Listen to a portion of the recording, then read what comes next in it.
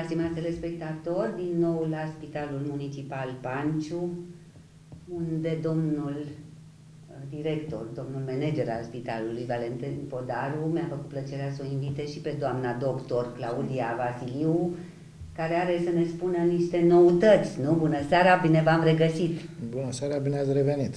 Bine ați revenit la noi, bună seara! Uh, domnul director uh, știe de fiecare dată, o spun în toate emisiunile, că vin cu drag aici la Panciu, la spital, pentru că este o atmosferă foarte bună, e unul dintre spitalele de referință de la noi în județ, nu știu cum ați făcut, de ați adus și niște medici noi, că toată lumea, la toate spitalele se vaidă că nu sunt medici, uite, spitalul Panciu se pare că are un efectiv uh, aproape corespunzător, așa e, domnule director? Așa este. Am căutat să păstrăm o colaborare strânsă cu medicii rezidenți. Practic de acolo am reușit să aducem, să aducem câțiva medici la, spital, la Spitalul Orăștean Spanciu, astfel încât să ne putem desfășura activitatea în condițiile cele mai bune. Cele mai bune. La ora actuală câți medici sunt în spital? La ora actuală avem 11 medici în spital. 11, ia uite, da? Da. Da. Doamna doctor, dumneavoastră sunteți medic gastro Urologie. Da, sunt... Da, uh, aveți o noutate în viața da, dumneavoastră da, da, ca medic, da? Um, specializarea mea inițială este într-adevăr gastroenterologia pe care am luat primariatul și uh, recent, uh, adică anul trecut în octombrie, am finalizat al doilea rezidențiat pe specialitatea medicină internă și am participat și am luat examenul și acum sunt și medic specialist pe interne. Sunteți medic specialist pe interne și practicați asta și aici în spital, da? Da. Sau în tot pe gastro? Aici sunt încadrată pe compartimentul gastro, dar cazurile care se adresează spitalului nostru, în general, este o patologie mai complexă de ansamblu pe medicină internă. Pacientul, de exemplu, nu are doar gastrită. De regulă, pacienții noștri sunt și hipertensivi, unii mai sunt și diabetici, mai au și un colesterol mai mare, poate au fost și fumători și au și o bronșită cronică, adică e așa un amestec un de boli. Amestec. Și dumneavoastră vă ocupați și de ei în situația Absolut, actuală. absolut. Adică în momentul în care pacientul respectiv îl internezi sub parafa ta, ă, ești obligat să-l tratezi ă, în ansamblu, să-i tratezi toate afecțiunile, adică să ai cunoștințe și din patologia respectivă, fie că e patologie respiratorie, cardiacă, reumatologică, Bun, nu poți să știi la nivelul unui reumatolog, dar niște cunoștințe generale de bază trebuie să le ai trebuie și să le aplici, să le ai. sigur că Știți, da. mă uitam cu atenție la ce spuneați, adică ascultam cu atenție, pentru că acum vreo câteva zile am primit un telefon de la o prietenă de-a mea care era disperată că bă, băiețelul ei a fost lovit la ochi și s-a dus, nu știu dacă la Focșani, nu cred că la Focșani, în altă parte, la urgență, și a spus, noi nu avem medic uh, oftalmolog, duceți-vă în altă parte și l-a lăsat pe copil cu ochiul ăla umflat și deci și eu cred că orice medic și mai ales când e vorba de copii trebuie să aibă și niște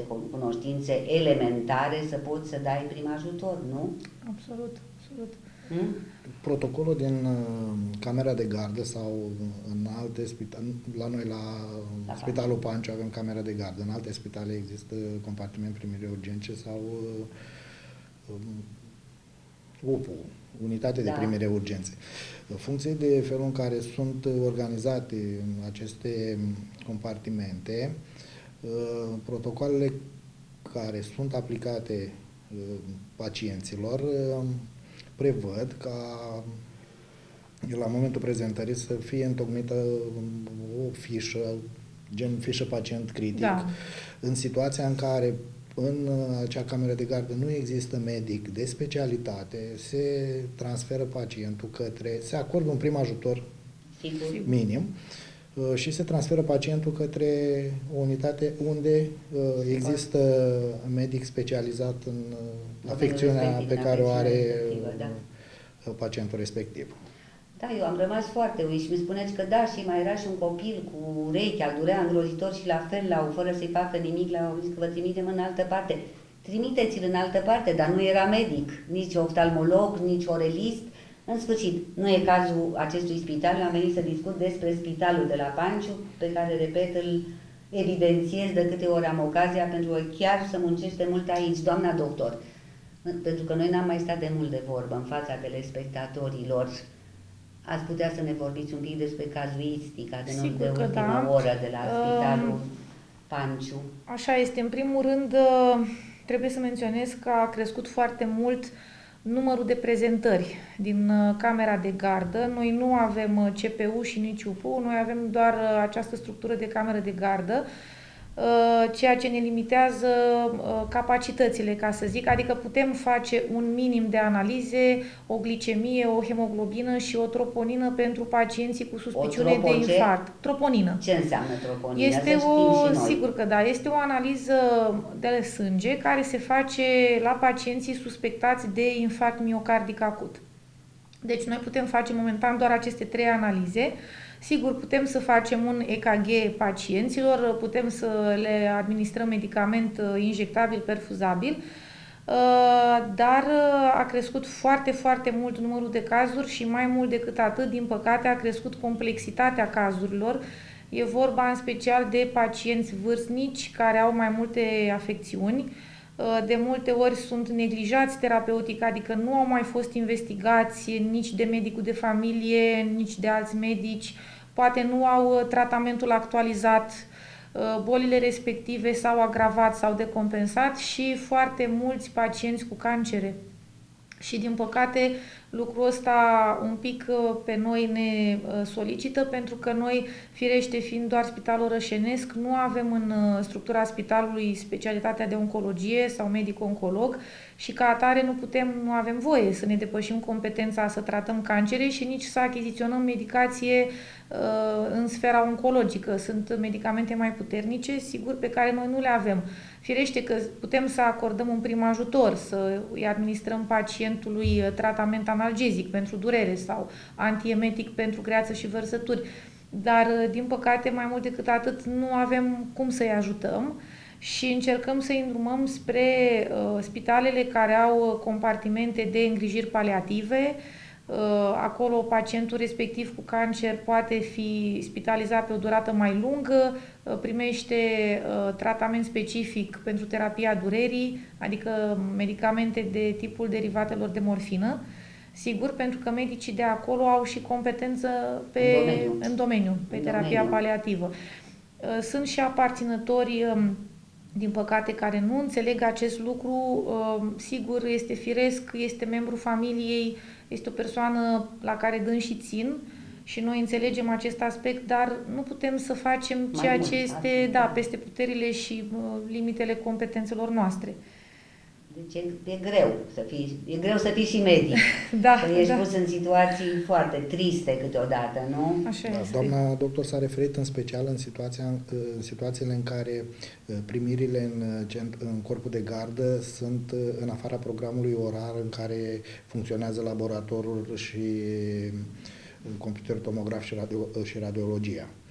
Uh, Pentru perioada asta putem oferi doar uh, acele investigații pe care le-a um, transmis doamna doctor. În rest, uh, avem uh, investigații de laborator în timpul zilei, când laboratorul lucrează, putem uh, oferi toate, mare, mare, o mare parte din gama de analize de laborator. Uh, Putem oferi investigații de radiologie și de, chiar și de computer tomograf.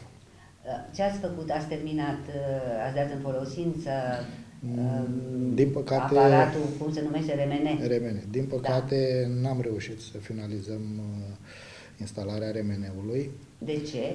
Uh, lipsește un uh, dispozitiv Spuneați de data electric. trecută, nu- și n-a venit nici Nu acum. a ajuns acel dispozitiv electric. Uh, nu putem uh, conecta la rețeaua electrică definitivă aparatul și ca urmare nu putem uh, Și când folosi. vedeți că t- lumea așteaptă? Am văzut că și pe la Focșani m-au întrebat oameni. Când da, Tot am vehiculat termene, am crezut că că se rezolvă? Uh, În România, uh, contractorii de asemenea proiecte vor fi din ce în ce mai serioși, dar uh, se pare că Deci, e, ne- e, deci e, haideți să spunem lucrurilor pe nume. nu e vina dumneavoastră ca director de spital, ci nu e vorba de e vorba vina de persoana cuiva. cu care... Păi Este vorba de moment ce ți iei un Nici angajament. constructorul nu este vinovat în totalitate, Dar pentru că cineva dâns, e vinovat. dânsul a făcut uh, comanda uh, furnizorul de... Furnizorul. Deci e- de vine este furnizorul, care de unde e? Din, fo- din țară sau e din Nu, e de străinătate? undeva din străinătate. Bănuiesc că toate lucrurile astea se întâmplă pe fondul războiului ăsta care a bulversat toată lumea asta și în uh, tot ce înseamnă producția de medicamente și în ce înseamnă producția de aparatură electrică și electronică Și în transporturi și în toate cele? și chiar și în transporturi. Nu știu, dar este mare păcat, totuși au luat un angajament, e vorba de niște bani foarte mulți, e vorba de așteptările oamenilor, nu? Așa Uite este. cum poți să fii pus într-o situație foarte neplăcută, pentru că nu, nu știu ce să zic, Sperăm ca an, anul acesta să putem uh, da în folosință RMN-ul și chiar să atragem în structură și celelalte două cabinete cu care este dotat uh, centrul ăsta de mai diagnosticare. spuneți-le odată care sunt cele două cabinete. Cabinetul de cardiologie, Cardiologie. și uh, cabinetul de barnofizioterapie. Da, aveți cardiolog? Păi putem să avem cardiolog după ce atragem în structură cabinetele. Că e o criză de ca- cardiolog, să știți. E o criză de cardiologi. Așa Ce este. ziceți, doamna doctor? Așa este, din păcate, mulți colegi tineri care finalizează rezidențiatul aleg uh, să plece în străinătate sau unii dintre ei aleg să rămână în spitale mai mari, în spitale de nivel universitar, uh, posibil și fiind atrași de cazuistica mai complexă, de faptul că um, sunt mai mulți colegi, eu știu, în linie de gardă, că au posibilitatea să intre pe ramura asta de cercetare. Bănuiesc că astea sunt motivele, știți? Nu știu, mulți vor să... um, Am, vorbeam cu un fost elev de-al meu care vrea să se facă medic și am spus ce... Zic că îmi caut o de asta mai ușoară, așa, că aveți să te duci la cardiolog. A, cardiologie e grea, nu mă bag. Vedeți, au reacții de genul ăsta, nu mă bag, că este grea. Este, este. Este grea, într-adevăr, dar m, uh, văd că mulți dintre cei care termină, că foarte mulți se duc la medicină, să știți, foarte mulți, și la particulare, și vor în străinătate. Da, bănuiesc Da. că condițiile oferite de Occident, cei Să din, zic din așa. afara României sunt net superioare condițiilor oferite unii au în venit cu România. coada între picioare de acolo, să știți. Uh, Da, posibil să nu reușească să se încadreze în uh, dinamica de lucru de acolo și dinamica de lucru, nu e vorba de cunoștințele pe care le are, pentru că acolo se pare că la unele spitale, o fi și unele mai superficiale, că oameni suntem cu toții, dar uh, cerințele sunt foarte mari la... la... Știți ce mi-a spus o doamnă într-o emisiune, o doamnă care a lucrat la Londra, îmi spunea că și acolo e nebunie, la spitale te duci și dacă găsești un doctor bun, ăla e român. tocmai asta vreau Vedeți, să spun. adică- Școala de medicină da, românească, românească este, este, da. de un nivel destul, destul de ridicat. Uh, Dinamica de lucru pune Da, probleme. probabil, e să un știu. program foarte strict acolo. Posibil. Doamna doctor are Da, ceva mă- experiență Hai, în, da, așa în- este. și ne poate Unde ai lucrat, povesti. Claudia? Am lucrat în Marea Britanie și am Așa, lucrat, da. am avut posibilitatea să văd, să fac o comparație. Am lucrat și în sistemul de stat și în cel privat. Acolo. Da, inițial am lucrat, așa a fost să fie în sistemul privat și apoi am trecut în cel de stat. Uh, Este adevărat, cerințele sunt mari, dar uh, ei sunt niște oameni totuși, să știți, destul de flexibili și de deschiși uh, în a accepta alte mentalități și alte culturi. Uh, Se muncește, absolut, adică nu există timpi morți. Uh, Dar ei, de exemplu, pot să vă zic că știu că noi avem o bază solidă de cunoștință și au încredere. Dacă la început ești într-adevăr un pic, să zicem, monitorizat ca să vadă dacă într-adevăr te descurci în diferite situații, uh, după o perioadă de o săptămână, două, în momentul în care ei s-au convins că faci față jobului respectiv, te lasă în pace și uh, știu, știu că noi românii suntem muncitori. Um, Există și acolo partea asta, și ei au birocrația lor, și ei au protocoalele lor care trebuie scurmate. Uh, Acum câțiva ani situația era mai bună și la ei. Între timp s-a mai degradat situația în sistemul lor sanitar pentru că și acolo există deficit de personal, uh, și acolo sunt ture neacoperite, costurile și la ei au crescut foarte mult, mai ales La în privat. contextul și la privat și la stat și listele de așteptare sunt foarte mari. Socrul meu este englez și a avut nevoie să facă o radiografie și l-au programat undeva într-un interval de trei luni. Este un timp mare de așteptare. Cum? Și chiar dacă te duci să plătești... uh, De... Uh, Bine, el este asigurat, cum, cum Da, am da, fi la da, noi, da, fiind da. pensionar și așa, dar uh, ăștia sunt timpii de așteptare. Primești o scrisoare acasă în care te informează că pe data de la ora de ai programarea, trebuie să respecti programarea pentru că altfel nu mai primești următoarea programare, aștepți foarte mult pentru că ai fost neserios. Ai- Există o seriozitate a lor specifică, să zic, ce britanică. Of, seriozitate, să aștepți trei luni pentru o radiografie, poți Da. să mori în timpul Da, ăsta. așa este, așa este. Adică, vedeți, Așa este.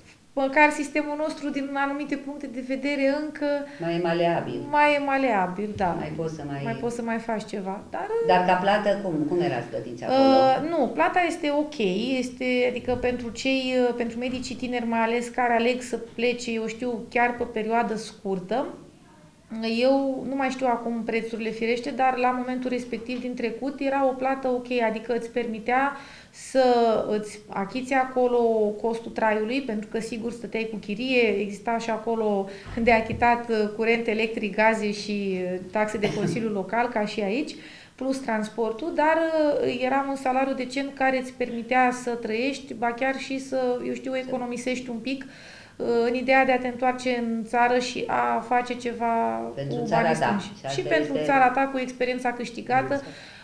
Este bine pe o perioadă scurtă să mergi și să vezi un pic cum lucrează și alți colegi, ce idei aplică ei medicină.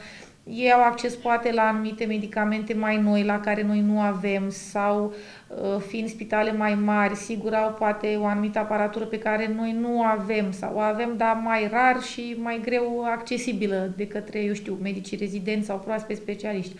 Dar uh, părerea mea e că bine să se mai întoarcă, ar fi bine să se mai întoarcă dintre înși și să încerce să, să aplice lucrurile bune învățate acolo aici și să ridice sistemul nostru. Sigur că da, asta ar fi ideal și Da. poate... Da, dar spune, spuneți-mi, este discrepanță mare la salarizare acolo între privat și stat? Care e mai avantajoasă?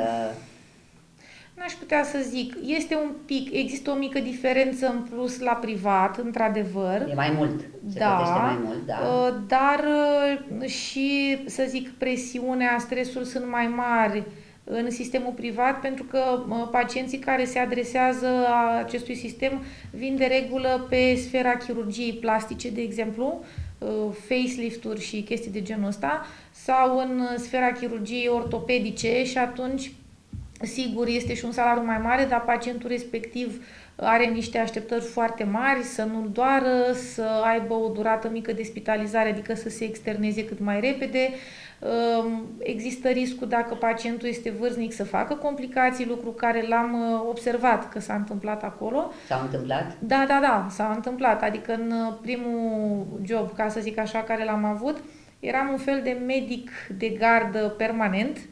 Medicii specialiști veneau, operau dimineața, plecau și rămâneam eu cu asistentele și apăreau diverse complicații, nu la toți pacienții, dar de-a lungul timpului au mai Au apărut mai și apărut. atunci exista un stres pentru uh, medicul respectiv, chirurg care operase pacientul, pentru că și la ei se mergea pe varianta de a-l transfera la stat, în momentul în care era o problemă mai serioasă. Dar este de preferat pentru publicul care se adresează, ea- ei preferă, mă, mă refer la cei cu bani, probabil, că asta e, e de preferat să mergi la un spital privat? Da, preferă privatul De ce? din același motiv ca și românii, pentru că li se pare că sunt condițiile de cazare, condițiile hoteliere mai bune Și sunt. uh, și sunt. Și sunt, ca să li zici, se da. pare că, eu știu, li se acordă mai multă atenție de către personalul medical, pentru că este și firesc, fiind numărul mai mic de pacienți, ai mai mult timp să te ocupi de fiecare.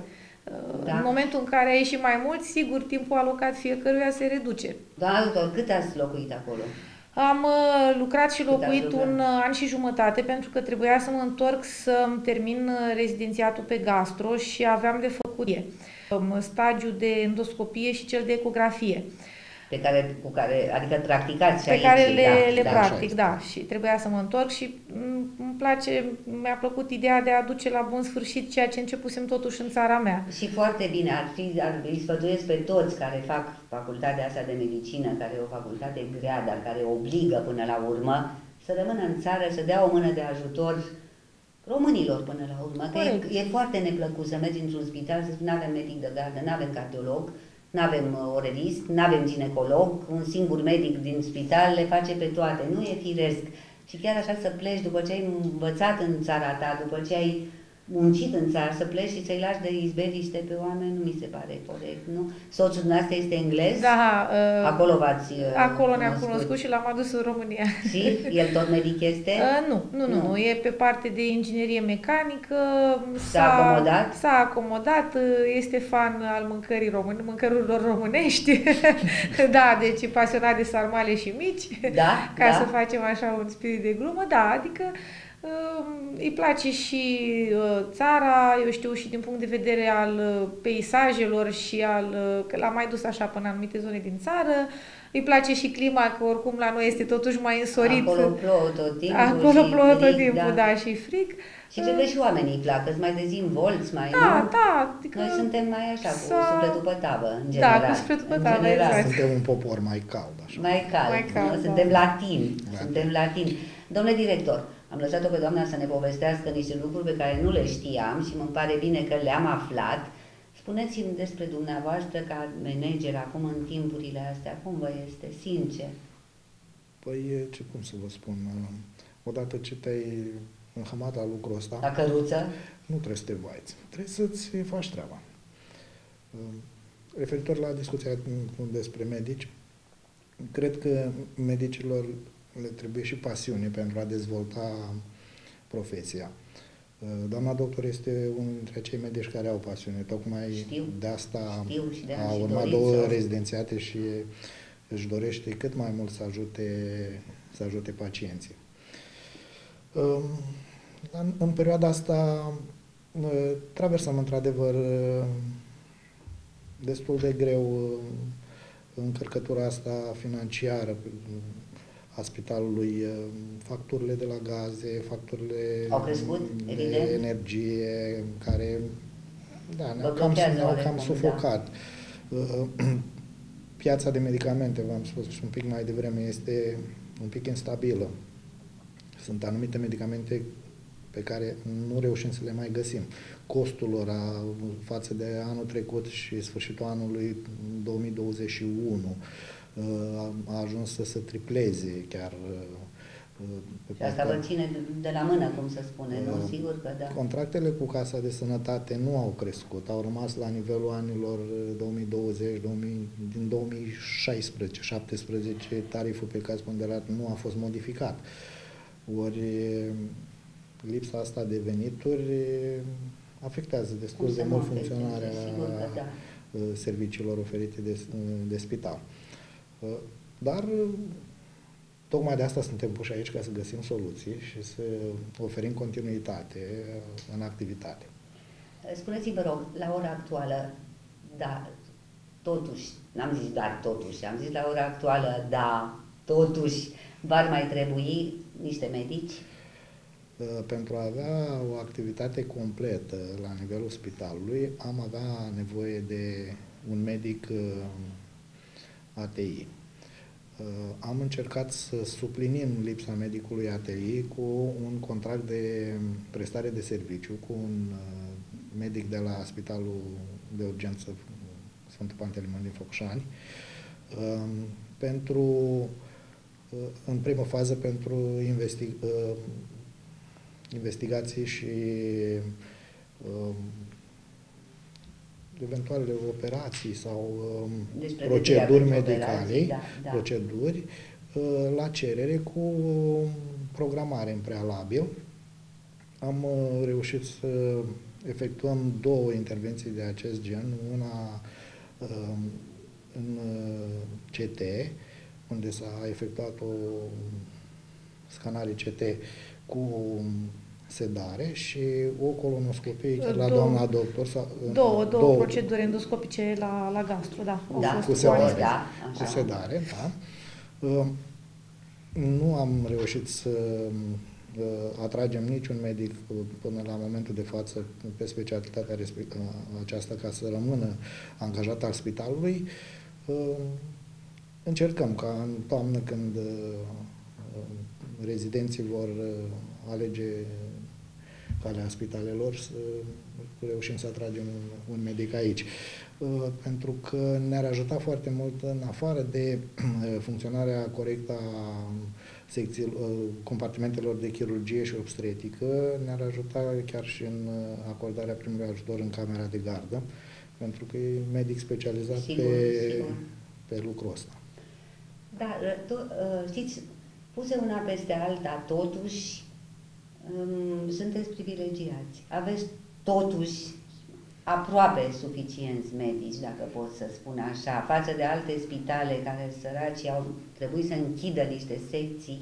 Da, în Pentru rest că avem nu- uh, Da. toate specialitățile acoperite. Chiar uh, la intern avem Și- doi medici, la pediatrie avem doi Doi medici. medici, da. uh, și la schema- cardiologie, parcă aveți, nu? Nu avem cardiologie, Da, da, pentru că nici uite, nu avem structura. Nu aveți N-avem- structură, nu, nu aveți. nu, nu. Dar uh, doamna doctor Vasiliu, de exemplu, poate să suplinească cât de cât și activitatea unui cardiolog, pentru că făcând intern, nu doamna doctor, ați avut studii și da, despre... noi și uh, de, oricum ne-am confruntat în camera de gardă, să știți, și pe perioada pandemiei și după. Uh, Focșaniu a fost nevoit pentru că se ocupau foarte mult de cazurile de COVID și erau gradul lor de ocupare a paturilor era Da, foarte mare foarte cu mare, pacienții da. COVID pozitiv, ne-au trimis uh, au retrimis, redirecționat către noi patologie cardiacă foarte multă și în timpul acela încă nu începusem uh, sau eram chiar la începutul rezidențiatului și am fost nevoită să tratez astfel de pacienți cu tulburări de ritm, cu fibrilație atrială, cu tahicardie paroxistică. A trebuit uh, noi toți, colegii care facem gări, să ieșim un pic din zona noastră de confort și să învățăm un pic și de cardiologie aplicată, ca să zic așa. Păi vedeți, doamna doctor și domnule manager, uh, înainte de 89, medicii obligatoriu își făceau un stagiu la țară, fapt care îi obliga să știe multe. Când, Așa ve- când se transferau la un spital sau un, într-un, într-o clinică, din, uh, uh, o clinică urbană, deja ei știau multe lucruri pentru că trebuiau, erau puși în fața faptului împlinit, trebuia să se descurce. Faptul că nu se mai fac aceste, uh, cum se numește asta, această, nu practică, um, Stagiu de stagiu, pregătire, acest da. stagiu de, să știți că a fost deficitar și pentru uh, pacienți și pentru Și medici. pentru medici, sigur. Că Erau Așa este. în toate comunele, exista o circă sanitară cu moașe, cu asistente, cu medic, cu, stomatol- cu medic stomatolog. Erau puse la dispoziția medicilor care nu locuiau acolo, aveau casă unde puteau să locuiască, chiar în, în, în clinica respect, în circa respectivă. Din păcate, lucrurile astea nu mai sunt și se vede. Așa este. Se vede, sunt o mulțime de comune care n-au medic, care e, e o perioadă care o, o perioadă tristă și din punctul ăsta. Am spus și din punctul ăsta de vedere. Avea, ar trebui să avem mai multă grijă unii față de alții, nu? Așa este. A- Banul a pus stăpânire pe sufletul omului și lasă tot în urmă pentru niște bani care până la urmă... Să știți că și costurile de infrastructură, Sigur de că a sunt, menține sigur că infrastructura da. în așa fel, uh, ar fi destul de ridicate. Și s-a ales soluția asta Asta pentru este, a mai da. uh, economisi din, uh, din bani. Să economisim bani, dar nu pe sufletele oamenilor, că practic ăia care se duc pe sus pe acolo ne promit că se duc ca să ne facă viața Chiar ușoară. dacă, chiar dacă s-au redus uh, acele dispensare care existau în, uh, în comune și sate, uh, diferența de bani care se folosea acolo a fost uh, redistribuită către aparatura uh, nouă care a ajuns în spitalele orășenești, Da, județene, da, municipale. Da. Cam asta e. Uh, Mă bucur foarte mult că ați invitat-o pe doamna doctor, și cu care știu că aveți o colaborare foarte bună și eu o știu pe ea de ani de zile și e un medic foarte serios și foarte preocupat de ceea Mulțumesc ce frumos. face. Nu trebuie să mulțumiți mie, doamna doctor, felicitări că ați învățat și că vă țineți în continuare de meseria asta nobilă pe care toți ar trebui să și o facă într-un anumit fel. Pe dumneavoastră vă felicit pentru că rezistați în toate și, că, și ați făcut multe lucruri bune și mențineți o tradiție în acest, la acest spital de la Panciu, Spitalul Municipal de la Panciu, care, repet, este o carte de vizită pentru județul nostru. Cu ajutorul lui Dumnezeu ne vedem curând. Sigur. Vă doresc numai bine, succes mult! Mulțumim, Mulțumim. și vă așteptăm cu drag. Cu drag o să vin. La revedere, stimați telespectatori!